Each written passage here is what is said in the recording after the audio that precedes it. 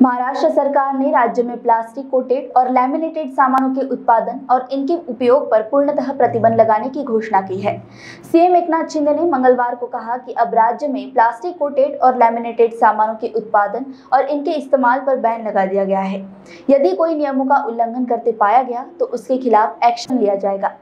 बता दें कि 23 मार्च 2018 को महाराष्ट्र सरकार ने एक बार इस्तेमाल होने वाली प्लास्टिक सामग्री, जैसे बैग, चम्मच, प्लेट पीईटी पीईटीई बोतलें और थर्माकोल के निर्माण उपयोग बिक्री वितरण और भंडारण पर प्रतिबंध लगा दिया था।